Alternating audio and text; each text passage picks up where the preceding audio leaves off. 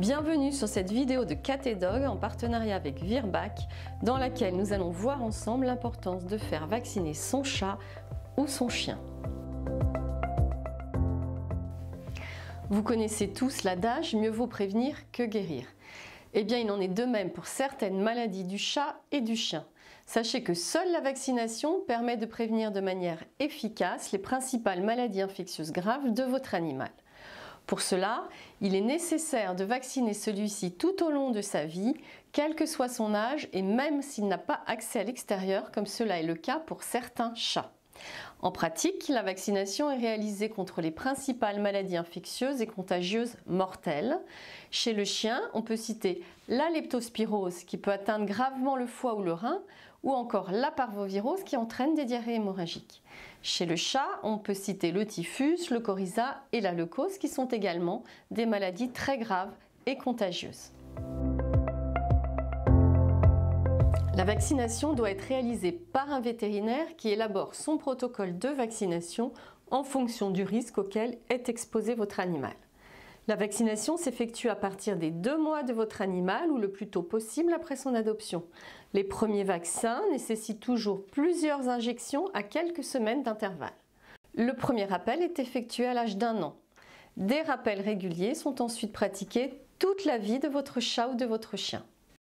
Chaque vaccination se fait dans le cadre d'une consultation qui est l'occasion de faire un point complet sur la santé de votre animal et d'échanger à ce propos avec votre vétérinaire.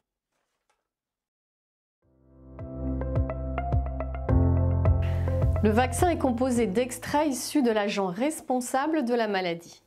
Ces extraits, sans danger pour votre animal, une fois injectés, vont stimuler son système immunitaire et renforcer ainsi ses défenses naturelles pour combattre efficacement la maladie. En effet, celles-ci seront alors à même de neutraliser l'agent infectieux si celui-ci pénètre dans l'organisme de votre animal.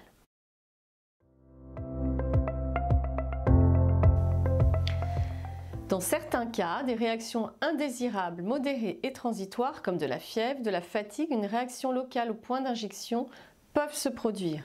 Elles sont généralement sans gravité, modérées et passagères.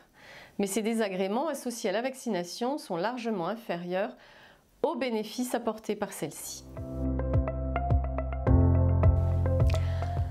Enfin, la vaccination permet une protection à la fois individuelle et collective. D'une part, l'animal vacciné est protégé efficacement contre la maladie. D'autre part, plus le nombre d'animaux vaccinés est grand, plus la maladie devient rare car elle a moins tendance à se répandre.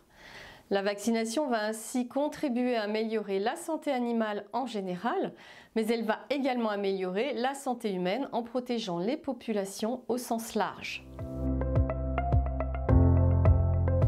Grâce à la vaccination, certaines maladies sont devenues plus rares. Il ne faut pas pour autant arrêter de vacciner votre animal car dans ce cas, ces maladies pourraient à nouveau se développer.